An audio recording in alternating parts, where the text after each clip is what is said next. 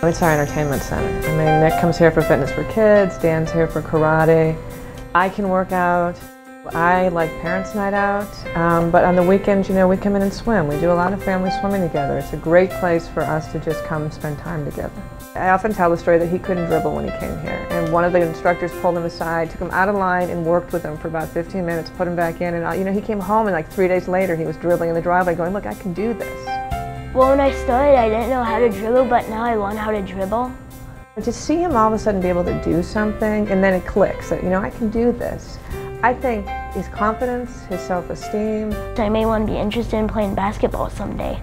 It's not about, you know, am I going to score the winning basket? You know, it's about having fun for an hour. It's in a gym where kids learn how to do fun exercises and games. He's more confident in conversations with people. He's more confident and a new challenge comes up and he doesn't shy away. He's like, oh, let's try it. Once I get really focused, I can run really fast and swim good. They mix up the program here so that the kids don't really know what they're doing from week to week. It's swimming, it's outside, it's inside, it's whatever. And, um, and you have to step in and do it. And I think that's made a huge difference even in everyday life. The Y is fun and that you should go there because it's a good place for families.